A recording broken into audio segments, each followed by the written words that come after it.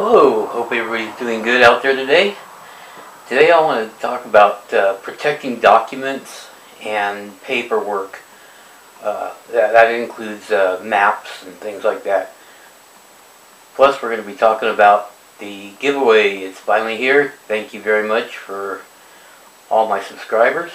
So we'll be getting into that coming right up.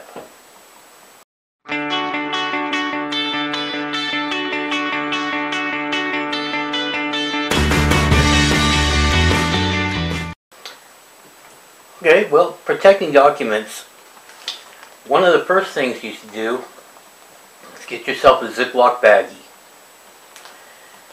Take it out to your car, put your insurance card and your registration in a Ziploc baggie, then put it back in your glove box.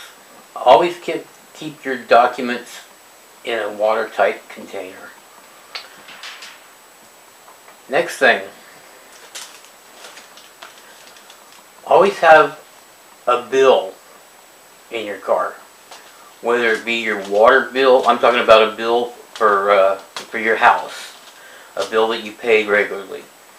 Keep a current bill because I know a lot of times in flood situations and stuff, even though you have your ID, they want to see something more current. So if you have a bill from the, a month or two months, maybe even three months ago, keep it in your vehicle. Something showing your name, your address, and that you paid the bill. Okay?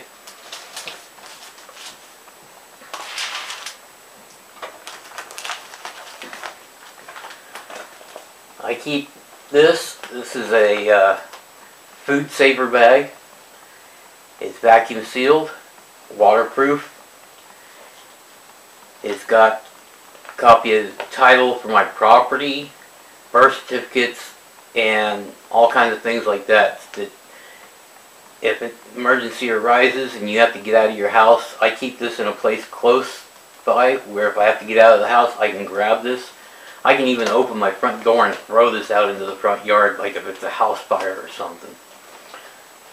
So you might think about something like that. Maps.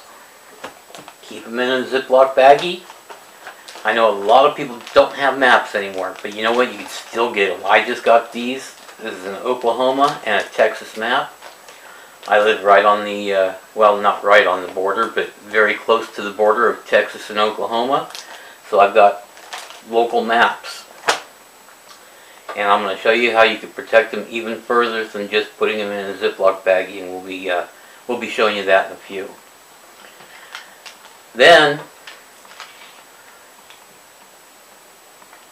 I don't like to look at the, the worst, but they're talking about it on the news and stuff. EMP attack. Old Kim Jong-un has been talking about using nukes and stuff.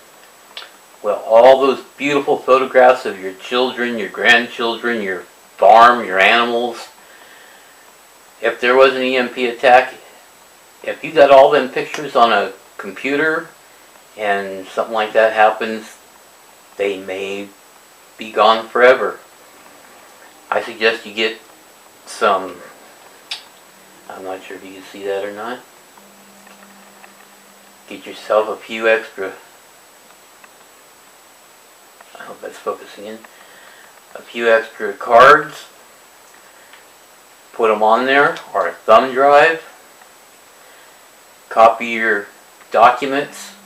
I know almost all computer printers now come with scanners. Take all your documents like what's in this scan them save them as a PDF file put them on there along with all your family photos and Another thing you can do is take pictures around your house of all your property, whether it's TVs, uh, game consoles, whatever you own. Take pictures and save it on that. That way if something happens, you have a record documenting. You might even take pictures and look on the back of the device as you're taking the pictures or video listing serial numbers and stuff. That way, if there's a flood or something, and you lose everything, you got a record to show your insurance company. for me, the main thing I'm concerned with is photos. I love keeping photos of all my grandchildren and children. Keep it on there. Okay, then back it up about once a month. Because I don't know about you, but I usually add an extra 10, 12 photographs a month at least. Then drop them in a Ziploc baggie. Curl that up. Seal it. That protects it from moisture. Get yourself a little cardboard box. Put that thumb drive inside that cardboard box. Okay. Get yourself some aluminum foil. Make sure it's enough to go around it a couple of times. Wrap that up. Now I'm not guaranteeing that's going to protect it from an EMP, but it's better than not trying to protect it at all. Okay, something we're going to try out on these maps here in a little bit. This piece of paper, and I'm not going to take credit for this idea. I saw this on, um, I'll think of his uh, channel here in a little bit. Ron Hazelton. Uh, he uh, does home improvements and things like that. I saw a thing that he did with the map here, and we're going to go out and, and test it on this here. Um, I'm also going to spray my maps, but I'm not going to go through all that on tape here. But I'm going to demonstrate with this piece of paper. Okay, ronhazelton.com, uh, I believe is what his, uh, his um, website is. Anyway, I took this piece of paper. It's probably going to be kind of hard to see. I zoomed in a little too far, I think. Okay. I put some scribbling up here. This first line is pencil. This next line is black ink. The next line is blue ink. This was a highlighter marker. And then this was just a... Uh, oops. Sorry about that. Okay. First line up here was scribbling with pencil. Next one was black ink. Next one was blue ink. This was a highlight highlighter. And this was a uh, permanent marker. As you can see, that half of this, just a little over half of it, is kind of blurred. I was testing this out.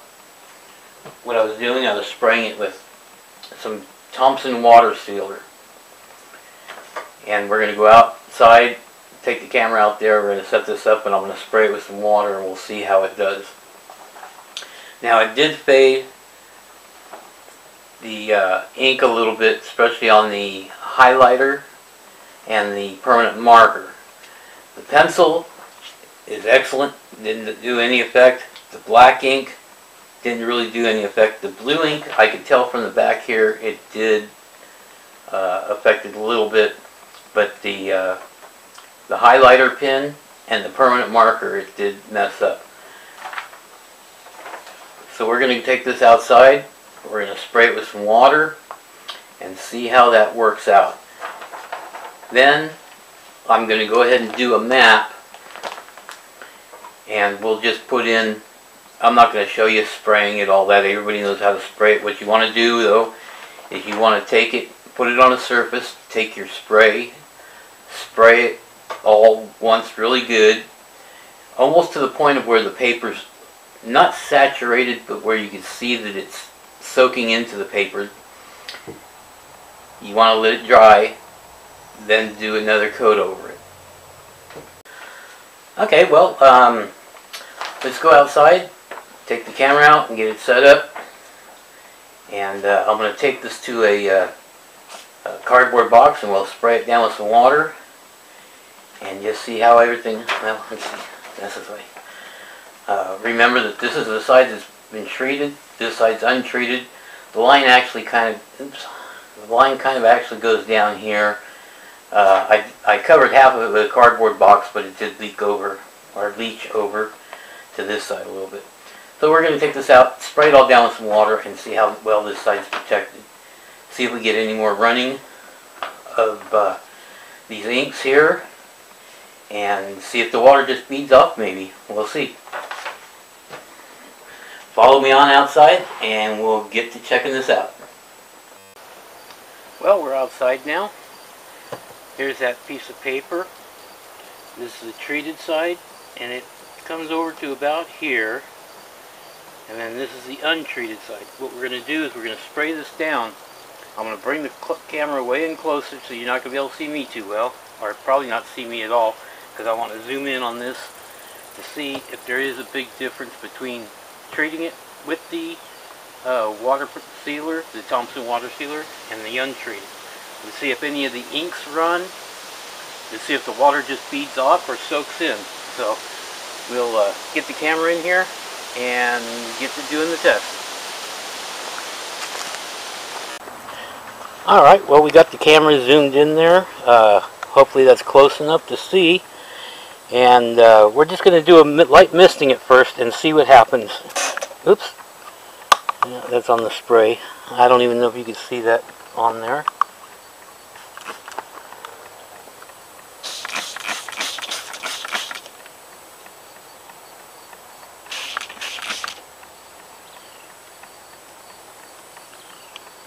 Can't really tell a whole, a whole bunch of difference there by just looking at it.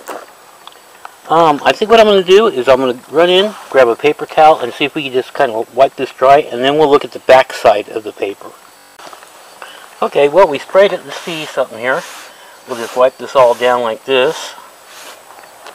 And uh, I want to look at the back side and see. Well, I can definitely tell the difference. This feels like it's going to rip right here. It feels real. But this side, it is It is definitely drier. Um, I don't see any smudging of paint or the ink on either side.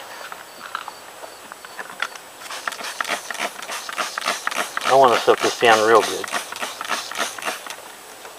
And we'll just give it a second here.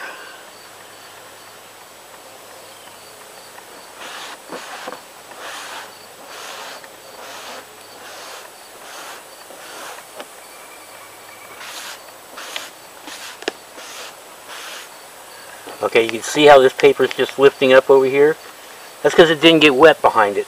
See how this paper is sticking? It's sticking down to the cardboard.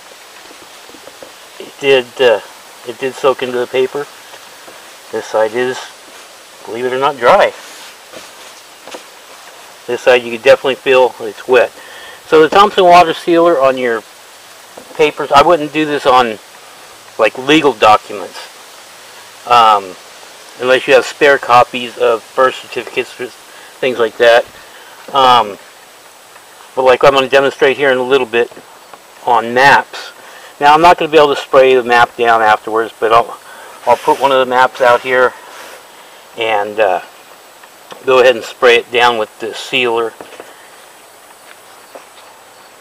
But yeah, that uh, that trick works. Uh, like I said, ronhazelton.com. Um, you can also find him. He's got a uh, Facebook page. Uh, if you, uh, let me, hold on a second, let me zoom this back out, move the camera back so I can talk to you here. Uh, but like I was saying, I got this idea from uh, Ron Hazelton's House Calls. And uh, if you're if you like watching uh, home improvement programs and things like that, excellent he's always got good things, and every uh, every week they've got a giveaway for uh, a sack of uh, a tool bag with uh, a saw and a drill, and I can't remember what all's in it. But anyway, you might look it up. Ron Hazelton's House Calls. He's also got a TV show that comes on in my area here. It comes on early on Saturday mornings. But anyway, we're going to go ahead and pull this off. I'm going to bring one of the maps out, tape it on here, and start spraying that. So we'll get right back to you on that one.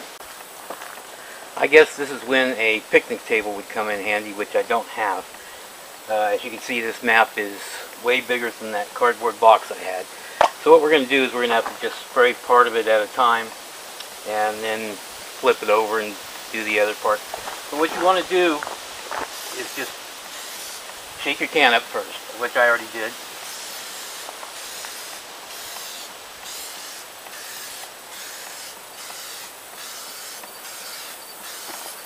Just almost like you're, like if you were spray painting it. Which in essence is what you're doing.